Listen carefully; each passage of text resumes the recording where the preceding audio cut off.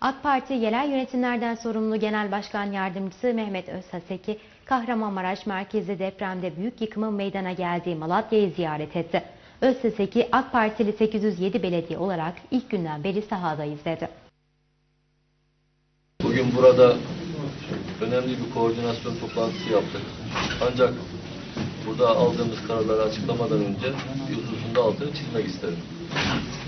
Ee, Türkiye'de bulunduğumuz, kendi medeniyetimizi kurduğumuz bin yıllık tarihimizde herhalde rastlayabileceğimiz en büyük felaketle karşı karşıyayız.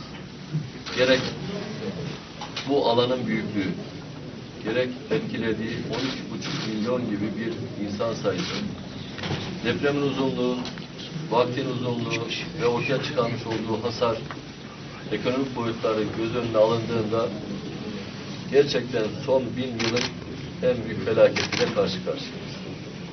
Evet bundan alınacak elbette dersler vardır. Yapmamız gerekenler vardır. Bunları ileride çok çok konuşacağız. Ancak ilk etapta yaraları sarabilmek, sıkıntıları giderebilmek ve ortada mevcut olan problemleri en aza düşürebilmek adına da ilk günden beri çalışıyoruz. Depremin olduğu ilk saatlerden sabah namazdan itibaren neredeyse Sayın Cumhurbaşkanımız, ilgili bakan arkadaşlarımız ve devlet görevlileri tamamıyla sahadalardı. Yaraları sarabilme adına vazife taksimleri yapıldı. İllere valilerimiz, kaymakamlarımız görevlendirildi. Arkasından da belediye başkanı arkadaşlarımızın her birisi daha koordinasyon tam oturmadığı halde ellerinde ne imkan varsa, ne güç varsa, güçleri neye itiyorsa bütün imkanlarını deprem bölgelerine seferber ettiler. Bu tür gönüllü bir hasbilik içerisinde gayret eden tüm kardeşlerimize teşekkür ediyoruz. Allah razı olsun diyoruz. Tabii daha sonra herkes kendine daha yakın olan illerde başlamak üzere bu gayretleri sürdürdüler. Ve biz de özellikle AK Partili 807 belediye olarak ilk günden beri sahadayız. Ne ihtiyaç varsa gidermeye çalışıyoruz. Ekmek, ekmek. Su, su. İş makinası, eleman, çadır, gıda, temizlik, her ne ise onların hepsini gidermeye çalışıyoruz. Bir taraftan da bu hizmetler bir anda bitmeyeceği için bu hizmetlerin devamlılığını sağlamak açısından artık arkadaşlarımızın bir yerde de sabit olarak kalıp hizmetlerini devam ettirmelerini istiyoruz.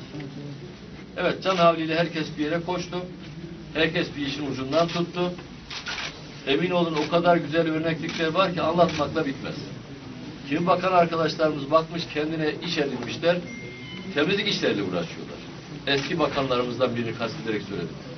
Kimi eski bir bakan arkadaşımız kendisine bir şey söylenmediği halde gitmiş bir yerde çadırların tuvaletiyle ve banyolarıyla uğraşıyor.